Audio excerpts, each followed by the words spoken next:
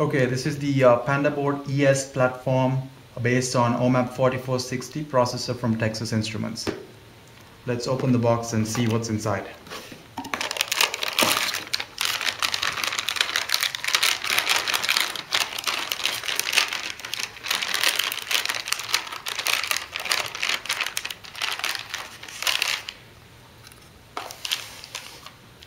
So as you can see, uh, the board looks uh, pretty much identical to the uh, 4430 base Panda board, but we have uh, the 4460 processor from TI that's running up to 1.2 gigahertz in the middle of the board.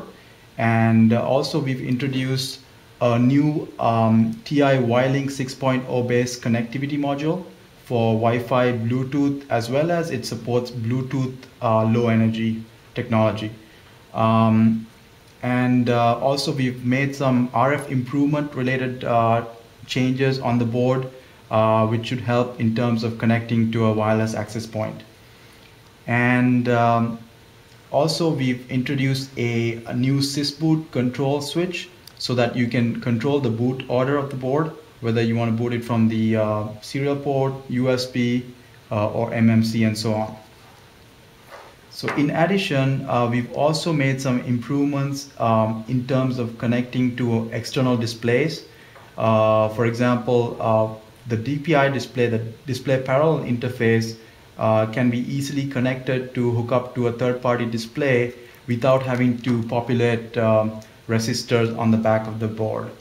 Uh, in addition, we've also um, enabled a DSI header, uh, display serial interface on the back of the board so you can actually hook up um, external DSI uh, displays onto the board easily as well. Um, in addition to uh, those uh, changes that I mentioned, uh, we've left all of the remaining features and as well as the placement of various connectors intact um, as identical to the 4430 based board.